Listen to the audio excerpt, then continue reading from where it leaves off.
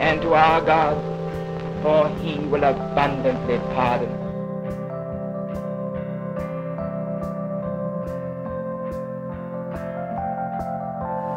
And they took Jesus and led him away, and he bearing his cross went forth. The thing, but like Edward, the thing that he is is a showman. You know, he's really good at using every single uh, thing that is available to him.